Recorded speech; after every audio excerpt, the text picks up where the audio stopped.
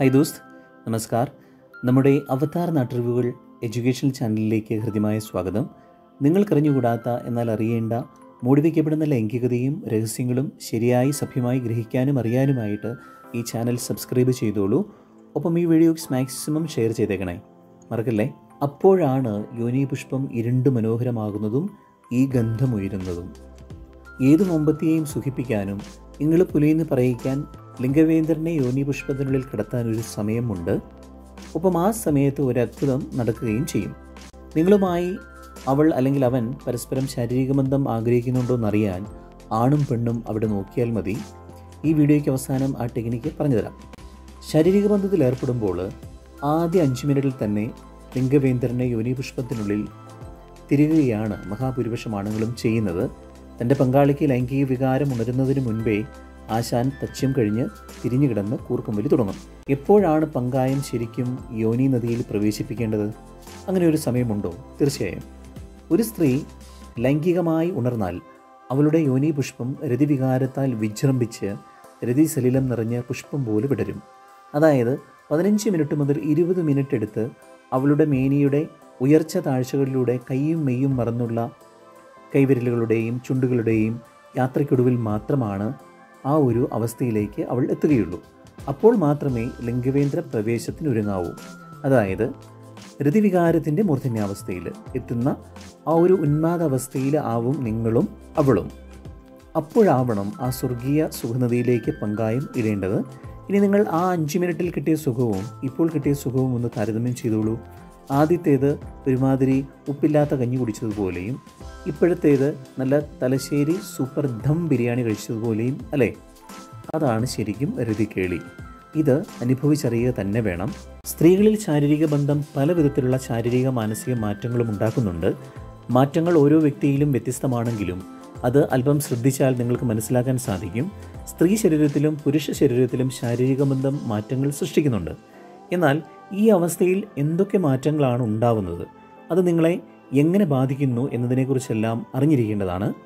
ഓരോ അവസ്ഥയിലും നാം ശ്രദ്ധിച്ചാൽ മാത്രമേ ഇത്തരം കാര്യങ്ങളെക്കുറിച്ച് കൃത്യമായി മനസ്സിലാക്കാൻ സാധിക്കുന്നുള്ളൂ. സ്ത്രീകളിൽ സ്ഥലങ്ങളുടെയും ക്രിസരിയുടെയും വലിപ്പത്തിൽ കാര്യമായ മാറ്റം ഉണ്ടാകും. നിങ്ങളുടെ മുലക്കണ്ണുകൾ ഞരമ്പുകളാൽ നിറഞ്ഞിരിക്കുന്നുണ്ട്. അതിനാൽ ആദ്യ ലൈംഗിക ബന്ധത്തിൽ തന്നെ ഇത് മാറ്റം നൽകുന്നു. ഇതിലൂടെ അവയിലെ രക്തക്കുഴലുകൾ വീസിക്കാനും നിങ്ങളുടെ സ്ഥലങ്ങളിലെ ടിഷ്യു വീർക്കാനും കാരണമാകുന്നു. ഈ ലൈംഗിക ഉത്തേജനം നിങ്ങളുടെ മുലക്കണ്ണുകളിൽ ഉദ്ധാരണത്തിനും കാരണമാക്കുന്നുണ്ട്. അതുപോലെ നിങ്ങൾ ലൈംഗിക ബന്ധത്തിൽ ഏർപ്പെടാൻ തുടങ്ങിയാൽ നിങ്ങളുടെ ക്രിസരി വീർക്കുകയും ചെയ്യും. എന്നിരുന്നാലും കുറച്ച് മിനിറ്റിനുള്ളിൽ ഇത് അതിന്റെ സാധാരണ വലുപ്പത്തിലേക്ക് മടങ്ങും. പെൽവിക് മേഖലയിലെ രക്തപ്രവാഹം വർദ്ധിക്കുന്നതിനാലാണ് ഇത് സംഭവിക്കുന്നത്. ഇരുപത് മിനിറ്റെങ്കിലും നന്നായി ഉത്തേജിപ്പിച്ചതിന് ശേഷമുള്ള ലൈംഗിക ബന്ധം അതായത് സമയമെടുത്തുള്ള രീതി എന്നത് കേവലം ശാരീരികം മാത്രമല്ല ആരോഗ്യപരമായ ഒരുപാട് ഗുണങ്ങളും ഇതുമായി ബന്ധപ്പെട്ട് കിടക്കുന്നുണ്ട്. ഇതിനു പുറകിൽ നടക്കുന്ന ഹോർമോൺ പ്രക്രിയകൾ ചെറുതല്ല. ഈ സമയത്ത് ശരീരത്തിൽ പലതരത്തിലെ ഹോർമോണുകളും ഉത്പാദിപ്പിക്കപ്പെടുന്നു. പലതരത്തിലെ ശാരീരിക മാറ്റങ്ങളും ഉണ്ടാക്കുന്നുണ്ട്. സ്ത്രീ ശരീരത്തിലാണ് ഇത്തരം മാറ്റങ്ങൾ കൂടുതൽ നടക്കുന്നത്. കാരണം ഹോർമോൺ പ്രക്രിയകൾ പുരുഷനേക്കാൾ കൂടുതൽ സ്ത്രീ ശരീരത്തിലാണ് നടക്കുന്നത്. കാതലായ മാറ്റം സംഭവിക്കുന്നത് സ്ത്രീകളുടെ സ്വകാര്യ ഭാഗങ്ങളിൽ തന്നെയാണ്. പ്രത്യേകിച്ചും യോനി പുഷ്പ പ്രദേശത്തും മറ്റും അതുപോലെ തന്നെ സ്തനത്തിലും. രക്തപ്രവാഹം വർദ്ധിക്കുന്നത് കൊണ്ട് തന്നെ വീഴ്ച സമയത്ത് യോനി പുഷ്പം കൂടുതൽ ഇരുണ്ട നിറമാകുകയും യോനി ഭാഗം നന്നായി തുടുത്ത് നല്ല നെയ്യപ്പം പോലെ ആവുകയും ചെയ്യും. നല്ല ഭംഗിയുണ്ടാകുകയും ചെയ്യും. വീഴ്ചയ്ക്ക് ശേഷം സാധാരണ നിറത്തിലേക്ക് തിരിച്ചെത്തുകയുമാണ് യഥാർത്ഥത്തിൽ ചെയ്യുന്നത്. സന്തോഷകരമായ ഹോർമോണുകളുടെ വർധനവ് മൂലം നിങ്ങൾ ലൈംഗിക ബന്ധത്തിൽ ഏർപ്പെട്ട് കഴിഞ്ഞാൽ നിങ്ങളുടെ മുലക്കണ്ണുകൾ എരിയോള ക്രിസരി തുടങ്ങിയ സ്ഥലങ്ങളിൽ നിങ്ങളുടെ ശരീരത്തിൽ വർദ്ധിച്ച രക്തപ്രവാഹവും പേശികളുടെ പിരിമുറുക്കവും അനുഭവപ്പെടാൻ തുടങ്ങും. ഇവയെല്ലാം ആത്യന്തികമായി നിങ്ങളുടെ രതിമൂർച്ചയ്ക്ക് കാരണമാകുന്നുണ്ട്. നിങ്ങളുടെ തലച്ചോറിൽ നടക്കുന്ന ഓക്സിറ്റോസിൻ വർദ്ധിക്കുന്നതിലൂടെയാണ് ഇത് സംഭവിക്കുന്നത്. സ്വകാര്യ ഭാഗത്ത് മാറ്റങ്ങൾ ഒരുപാടുണ്ട്. നിങ്ങളുടെ സ്വകാര്യ ഭാഗത്ത് ഇലാസ്തികത എങ്ങനെ ക്രമീകരിക്കാമെന്ന് ശരീരത്തിന് നന്നായി അറിയാം.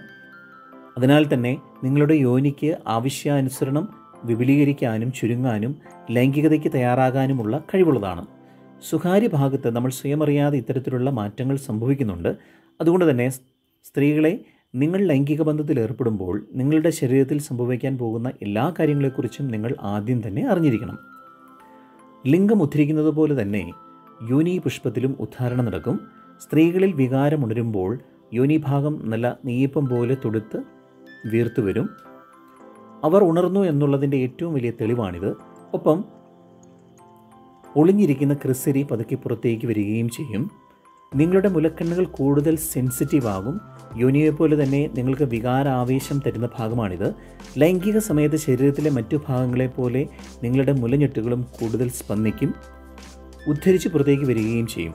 ഒരു ചെറിയ തഴുകൽ പോലും നിങ്ങളിൽ വികാരത്തിന്റെ തീക്കാറ്റുണർത്തും പെൽവിക് ഭാഗത്ത് കനവും ചൊറിച്ചിലുമെല്ലാം ചില സ്ത്രീകൾക്ക് രതിമൂർച്ച സംഭവിച്ചില്ലെങ്കിൽ അനുഭവപ്പെടുന്നതായി കണ്ടെത്തിയിട്ടുണ്ട്. എന്നാൽ ഇത് ഭയപ്പെടാനുള്ള യാതൊന്നുമല്ല രതിമൂർച്ച സംഭവിക്കാത്തതിന്റെ അസ്വസ്ഥത മാത്രമാണ് ഇതിന് കാരണം. യോനിയുടെ വലിപ്പം വേഴ്ചാ സമയത്ത് വർദ്ധിക്കുന്നുണ്ട്. രക്തപ്രവാഹം തന്നെയാണ് ഇതിനും കാരണം. വികാരം അടങ്ങിയതിന് ശേഷം ഇത് പൂർവസ്ഥിതി പ്രാപിക്കുകയും ചെയ്യും. ഏതൊരു വലിപ്പത്തിലുള്ള ലിംഗത്തെയും ഉൾക്കൊള്ളാൻ വേഴ്ചാ സമയത്ത് ഇലാസ്റ്റിക് പോലെ വലിയുന്ന യോനി ഭാഗം ഇതിന് ശേഷം പഴയ മുറുക്കത്തിലേക്ക് തിരിച്ചെത്തുകയും ചെയ്യും. വജൈനൽ മസിലുകളാണ് ഇതിന് കാരണമാകുന്നത്. വജൈന ഇലാസ്റ്റിസിറ്റി ഉള്ളതാണ്. വേഴ്ച സമയത്ത് ലിംഗവലുപ്പം അനുസരിച്ച് വജൈനൽ വലുപ്പം കൂടുകയും വികാരം അടങ്ങിയതിന് ശേഷം സാധാരണ വലുപ്പത്തിലേക്ക് എത്തുകയുമാണ് ചെയ്യുന്നത്. സ്തനവലുപ്പം കൂടുന്നത് കൂടുതൽ ആവേശം വർദ്ധിപ്പിക്കുന്ന ഒന്നാണ് പങ്കാളിക്ക്. ഈസ്ട്രജൻ ഹോർമോൺ കൂടുതൽ ഉൽപ്പാദിപ്പിക്കപ്പെടുന്നതാണ് ഇതിന് കാരണം. ഇരുപത് മുതൽ ഇരുപത്തിയഞ്ച് ശതമാനം വരെ സ്തനവലിപ്പം വീഴ്ചയ്ക്കിടയിൽ വർദ്ധിക്കാൻ സാധ്യതയുണ്ട്. വീഴ്ചാ സമയത്ത് സ്ഥലങ്ങൾക്ക് ചുറ്റുമുള്ള ചെറിയ ഞരമ്പുകൾ കൂടുതലായി വ്യക്തമായി പുറത്ത് കാണാനാവും. സ്ഥലങ്ങൾ ഹോർമോൺ മാറ്റങ്ങൾ വരുന്നത് കാരണം ഈ സമയത്ത് കൂടുതൽ മൃദുവാകുകയും ചെയ്യും. സ്ഥലങ്ങളുടെ ഭാഗം വീഴ്ചാ സമയത്ത് കൂടുതൽ വിയർക്കാൻ സാധ്യതയേറെയാണ്. ഇതും ഹോർമോൺ ഗന്ധവും കൂടി ചേർന്നുള്ള ഗന്ധം പങ്കാളിയിലെ വികാരം ആളിക്കത്തിക്കും സുഖത്തിന്റെ പുതിയ മേച്ചിൽപ്പുറങ്ങളിലേക്ക് യാത്ര അവിടെ തുടങ്ങുകയായി. ഈസ്ട്രജൻ ഹോർമോൺ സ്തനവലിപ്പത്തിന് പ്രധാനമാണ്. ഈ സമയത്ത് മുലഞ്ഞെട്ടിന് ചുറ്റുമുള്ള ഏരിയോള എന്ന ഭാഗം കൂടുതൽ വലുതാകും. സ്തനവലിപ്പം വർദ്ധിക്കുന്നതിന് സമാനമായി നടക്കുന്ന പ്രവർത്തനം തന്നെയാണിത്. മുലഞ്ഞെട്ടുകൾക്ക് പിങ്ക് നിറം വരും. ഈസ്ട്രജൻ ഹോർമോണും രക്തപ്രവാഹം വർദ്ധിക്കുന്നതുമാണ് ഇതിനുള്ള കാരണം. സ്ത്രീ ശരീരം ലൈംഗിക വീഴ്ചയ്ക്കായി ഉത്തേജിതമായതിന്റെ സൂചന കൂടിയാണിത്. സെറോട്ടോണിസ് എൻഡോർഫിൻസ് ഓക്സിറ്റോസിൻ തുടങ്ങിയ സന്തോഷമുള്ള ഹോർമോണുകൾ ലൈംഗിക സമയത്ത് ഉത്പാദിപ്പിക്കപ്പെടുന്നുണ്ട്. ലൈംഗിക ബന്ധ ബന്ധസമയത്തും അതിനുശേഷവും ഇത് നമ്മുടെ ശരീരത്തിൽ നിന്ന് പുറപ്പെടുവിക്കുന്നു. ഇത് തലച്ചോറിൽ കിടക്കുകയും നമ്മുടെ സമ്മർദ്ദം അകറ്റുകയും കൂടുതൽ സന്തോഷവും സ്നേഹവും സുഖവും നമുക്ക് നൽകുകയും ചെയ്യുന്നുണ്ട്. നന്നായി ഉത്തേജിതയായതിനു ശേഷം ലിംഗവേന്ദ്രൻ യോനിപുഷ്പത്തിനുള്ളിൽ പ്രവേശിച്ചാൽ നമുക്കറിഞ്ഞുകൂടാത്ത ഒരു അത്ഭുതം നടക്കുന്നുണ്ട്. അതുവരെ ദൃശ്യമായിരുന്ന ക്രിസരി അല്ലെങ്കിൽ നാടൻ ഭാഷയിലെ കന്ത് പെട്ടെന്ന് അപ്രത്യക്ഷമാകും.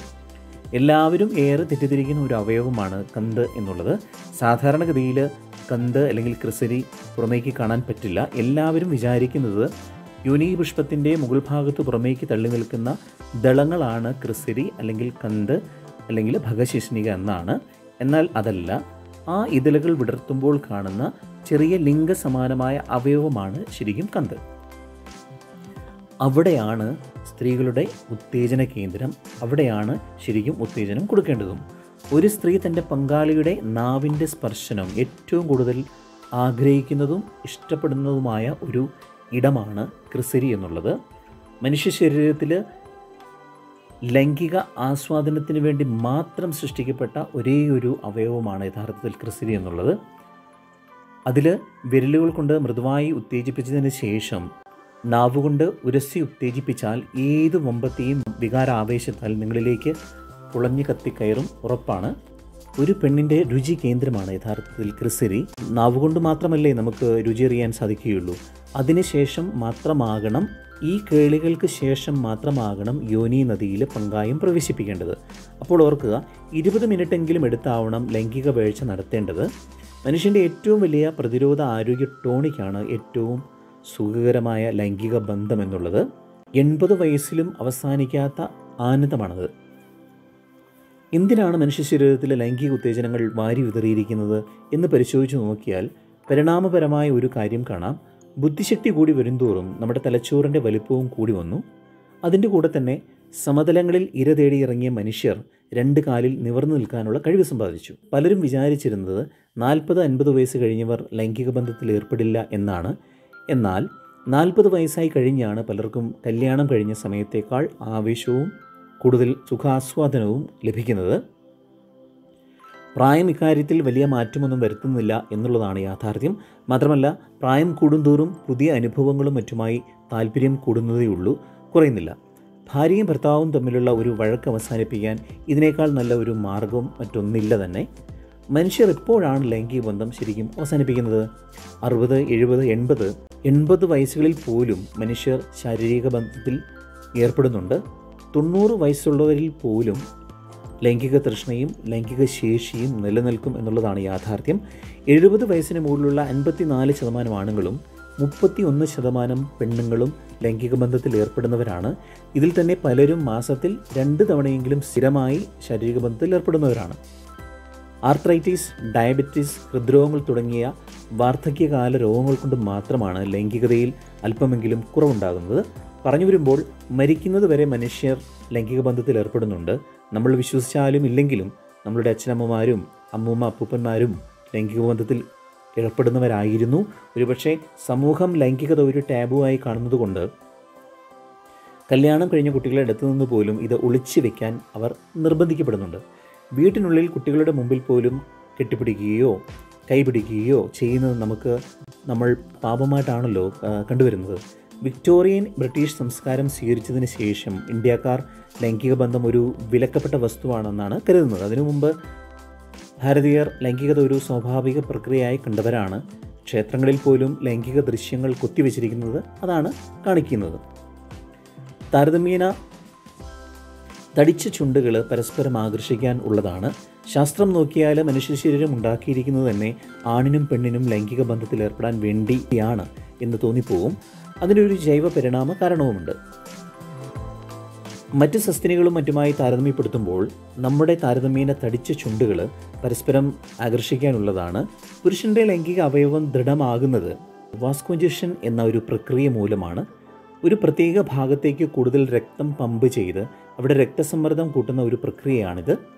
അതുകൊണ്ടാണ് വെറും മസിൽ മാത്രമുള്ള പുരുഷ ലൈംഗിക അവയവം ദൃഢമായി നിൽക്കുന്നത്. പക്ഷേ പലരും കരുതുന്നത് പോലെ ഇത് ലൈംഗിക അവയവങ്ങളിൽ മാത്രം സംഭവിക്കുന്നതല്ല.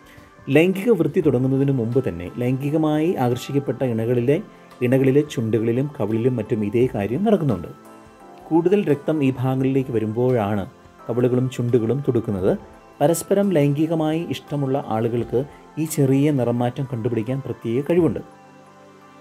ചുരുക്കി പറഞ്ഞാൽ വസ്ത്രമഴിക്കാതെ തന്നെ അല്ലെങ്കിൽ അതിനു മുൻപേ തന്നെ രണ്ടുപേർ ലൈംഗികമായി പ്രചോദിക്കപ്പെടുന്നുണ്ടോ എന്ന് മനസ്സിലാക്കാൻ ഇത് നിങ്ങളെ സഹായിക്കും. നിങ്ങളുമായി അവൾക്ക് അല്ലെങ്കിൽ അവന് പരസ്പരം ലൈംഗിക ബന്ധം ആഗ്രഹിക്കുന്നുണ്ടോ എന്നറിയാൻ നിങ്ങൾ തനിച്ചായിരിക്കുന്ന അവസരത്തിൽ ആണും പെണ്ണും പരസ്പരം നോക്കിയാൽ മതി. അവരുടെ കവിളുകളും ചുണ്ടുകളും തുടുക്കുന്നുണ്ടോ എന്ന് നിരീക്ഷിച്ചാൽ തീർച്ചയായും ഈ ലൈംഗിക അഭിവാഞ്ച നിങ്ങൾക്ക് മനസ്സിലാക്കാൻ സാധിക്കുന്നതാണ്.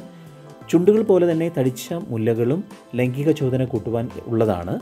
യഥാർത്ഥത്തിൽ ഇന്ന് സ്ത്രീകളിൽ കാണുന്ന സ്ഥലങ്ങളുടെ അർത്ഥഗോളാകൃതി കുട്ടികൾക്ക് പാൽ കുടിക്കുവാൻ കുറച്ച് ബുദ്ധിമുട്ടുള്ള ഷേപ്പാണ് പതിഞ്ഞ മുലകളും നീളമുള്ള മുലഞ്ഞെട്ടുമാണ് കുട്ടികൾക്ക് പാൽ കുടിക്കാൻ കൂടുതൽ നല്ലത്. കുട്ടികൾക്ക് കുപ്പിപ്പാൽ കൊടുക്കാൻ ഉപയോഗിക്കുന്ന നിപ്പിളിലെ അഗ്രം പോലെ. ഇപ്പോഴുള്ള ആകൃതി ലൈംഗിക ആകർഷണത്തിന് കൂടി വേണ്ടിയാണ്. എന്തിനാണ് മനുഷ്യ ശരീരത്തിലെ ലൈംഗിക ഉത്തേജനങ്ങൾ വാരി വിതറിയിരിക്കുന്നത് എന്ന് പരിശോധിച്ചു നോക്കിയാൽ പരിണാമപരമായ ഒരു കാര്യം കാണാം. ബുദ്ധിശക്തി കൂടി വരുംതോറും നമ്മുടെ തലച്ചോറിന്റെ വലുപ്പവും കൂടി വന്നു.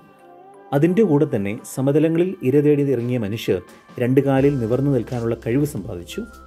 ഇതിന്റെ ഒരു പ്രശ്നം പൂർണ വളർച്ചയെത്തിയ മനുഷ്യക്കുട്ടിയുടെ തല സ്ത്രീ യോനിയിലൂടെ പുറത്തു വരാൻ കഴിയുന്നതിനേക്കാൾ വലുതായി മാറി.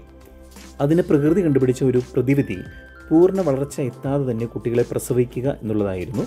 പക്ഷേ അങ്ങനെ ചെയ്യുമ്പോൾ ഈ കുട്ടികളെ പൂർണ വളർച്ച എത്തുന്നത് വരെ നോക്കാൻ ഒരാണും പെണ്ണും ഒരുമിച്ച് കുറേ നാൾ കഴിയണം. പണ്ട് കാലത്ത് ആണുങ്ങൾ പുറത്ത് വേട്ടയാകാൻ വേട്ടയാടാൻ പോവുകയും സ്ത്രീകൾ വീട്ടിലിരുന്ന് കുട്ടികളെ നോക്കുകയും അടുത്തുള്ള മരങ്ങളിൽ നിന്ന് കായികനികൾ പറിക്കുകയും ചെയ്യുന്ന ഒരു സമ്പ്രദായം അങ്ങനെ തുടങ്ങിയതാണ്. ഇതിന്റെ പരിണാമപരമായ കാരണം തേടിപ്പോയാൽ നമ്മൾ എത്തി നിൽക്കുന്നത് മനുഷ്യന്റെ തലച്ചോറിന്റെ വലുപ്പത്തിലാണ്. മിക്ക ജീവികളുടെ കുഞ്ഞുങ്ങളും ജനിക്കുമ്പോൾ തന്നെ സ്വയം ഇര ഇര നേടാൻ പര്യാപ്തരാണെങ്കിൽ മനുഷ്യന്റെ കുട്ടി സ്വയം നിലനിൽപ്പിനുള്ള ആ ഒരു കഴിവുമില്ലാതെയാണ് ജനിക്കുന്നത്. തലച്ചോറ് പൂർണ വളർച്ച എത്താതെയാണ് മനുഷ്യർ ജനിക്കുന്നത്.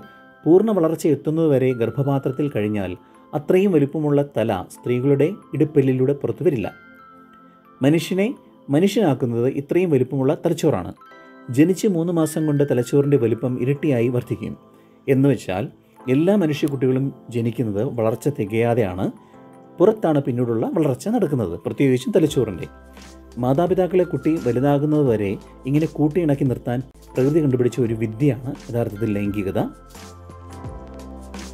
ഇതിലൊരു കുഴപ്പമുള്ളത് മറ്റ് ജീവികളെ പോലെ മനുഷ്യന് തന്റെ കുഞ്ഞിനെ ഇട്ടിട്ട് ഇര തേടാൻ പോവാൻ കഴിയില്ല എന്നുള്ള എന്നുള്ളതാണ്. പാൽ കൊടുക്കാൻ കഴിവുള്ള മാതാവ് കുഞ്ഞിനെ നോക്കുകയും പിതാവ് ഇര തേടാൻ പോവുകയും ചെയ്യുന്ന ഒരു ഒരു സമ്പ്രദായം തുടങ്ങുന്നത് ഇതിൽ നിന്നാണ്. അങ്ങനെ മാതാപിതാക്കളെ കുട്ടി വലുതാകുന്നത് വരെ ഇങ്ങനെ കൂട്ടിയിണക്കി നിർത്താൻ പ്രകൃതി കണ്ടുപിടിച്ച ഒരു വിദ്യയാണ് യഥാർത്ഥത്തിൽ ലൈംഗികത എന്നുള്ളത്. കൃഷി തുടങ്ങിയതിൽ പിന്നെ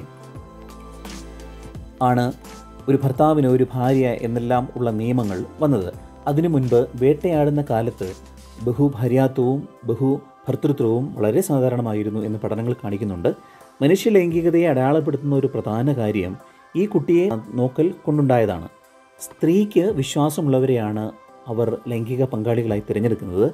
കുട്ടിയെ നോക്കൽ ഒരു പ്രശ്നമായി കാണാത്ത പുരുഷൻ തന്റെ വിത്തുകൾ എല്ലായിടത്തും വിതയ്ക്കാൻ വെമ്പൽ കൊള്ളുമ്പോൾ സ്ത്രീ തനിക്കും കുട്ടിക്കും വളരെ നാൾ സംരക്ഷണം നൽകുന്ന ഒരാളെ ലൈംഗിക പങ്കാളിയായിട്ടാണ് തിരഞ്ഞെടുക്കുന്നത്. ചുരുക്കി പറഞ്ഞാൽ മനുഷ്യകുലത്തിന്റെ നിലനിൽപ്പിനും നമ്മുടെ പുരോഗതിക്കും അത്യാവശ്യമായ കാര്യമാണ് ലൈംഗികത. അൻപത് വയസ്സിലും അറുപത് വയസ്സിലും ഒന്നും അത് അവസാനിക്കുന്നില്ല. പുരുഷന്മാർക്ക് മരിച്ച അഞ്ച് മിനിറ്റ് കഴിഞ്ഞു പോലും ഉദ്ധാരണം ഉണ്ടാകും. എന്നൊരു തമാശ എവിടെയോ കേട്ടതായി ഓർക്കുന്നുണ്ട്. പങ്കാളിയുമായി ഒരു വഴക്ക് കഴിഞ്ഞുള്ള ലൈംഗിക ബന്ധത്തിന്റെ ഊഷ്മളതയും മറ്റും കാണിക്കുന്നത് മനുഷ്യന് പ്രകൃതി തന്ന വരദാനമാണ് രതി എന്നാണ്. അത് ആസ്വദിക്കണോ വേണ്ടയോ എന്നത് നിങ്ങൾക്ക് സ്വയം തീരുമാനിക്കാവുന്നതാണ്. ശുക്രിയ. ഫിമില്ലെങ്കിൽ ബൈ